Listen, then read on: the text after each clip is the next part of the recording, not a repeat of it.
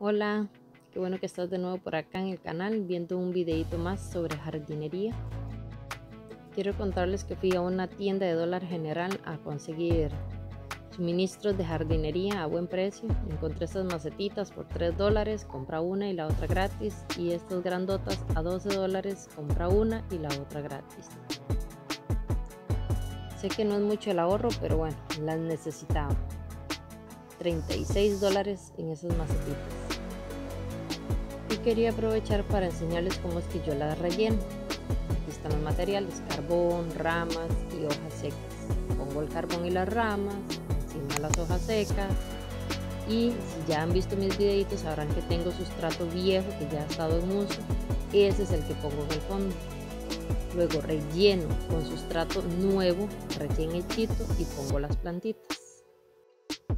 Y mientras vemos aquí la floración de algunas suculentas, les voy a contar qué es el método que utilizo para poder rellenar un poco la maceta sin tener que gastar tanto sustrato. Y así formo colonias de suculentas que me favorecen un poco más por el espacio y porque siento que crecen mejor y más rápido. El colocar las ramas abajo con el carbón me ayuda a que pueda drenar un poco mejor el agua no se pudren las suculentas porque la humedad que hay abajo no llega a ellas. Es demasiado el espacio que hay entre una cosa y la otra, que no se pudre. Ya yo lo hice con otras macetas y ahí están excelentes, por eso es que lo estoy implementando en estas otras. Mi idea es tener todas las suculentas en colonias para que se vean más bonitas.